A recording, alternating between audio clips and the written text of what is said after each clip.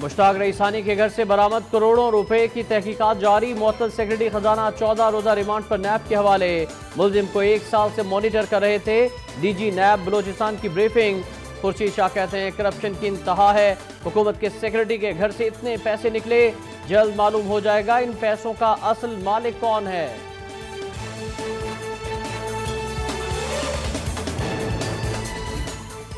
کراچی کے علاقے جمشید روڈ سے بھارتی خفیہ ایجنسی را کا دہشت گرد گرفتار بھارتی پاسپورٹ اور اہم دستاویزات رو ایجنٹ ارشد انٹرنیٹ کے ذریعے اپنے ساتھیوں سے رابطے میں تھا